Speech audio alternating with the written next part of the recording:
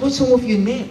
Um, every time I look down, I'm just like have a shooting pain makeup pain. Just get especially and pray for the Lord Jesus. No more shooting pains. In her neck, as long as she ever lives.